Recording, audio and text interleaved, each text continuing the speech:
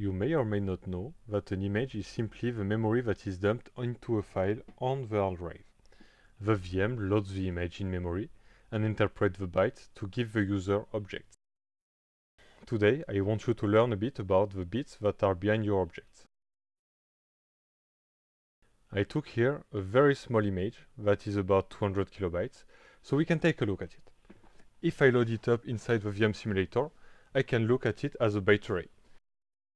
This is quite big even for a small image and fairly unreadable. We never work directly on it in VM development. Instead, we are using the simulator to give us information about a specific address. For example, here, I'm asking the simulator for nil object, the only instance of the undefined behavior class. I can then ask for other properties such as the number of slots or the class of nil object. When a developer works with a simulator, she has to work with addresses and pointer arithmetics. This can be a steep learning curve for newcomers. We propose to use reification and visualization to reduce the cognitive load of people working on the VM. To do that, we load an image inside the simulator and open Polyphemus, a tool that I wrote with Théo Rogliano. Each object looks like a box, therefore we have about 2500 objects.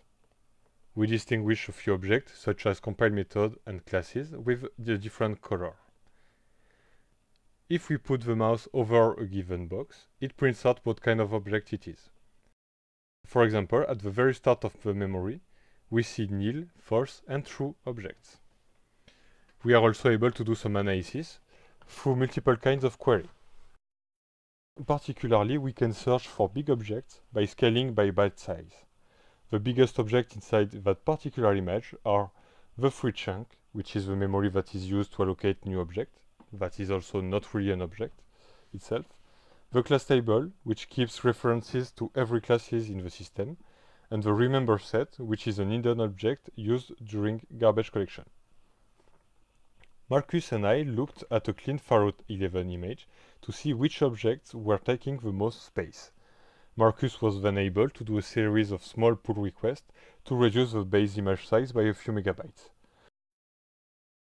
Another kind of analysis that helped Marcus and I understand where those big objects are is the computation of the referencers.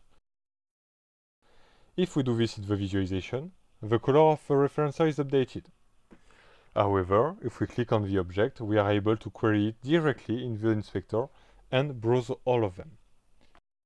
This must feel very natural to Smalltalkers, but in VM development we still rely on the simulator and pointer arithmetics to navigate objects. Another kind of application that will be of more interest to any Pharo developer is image breaking and repairing.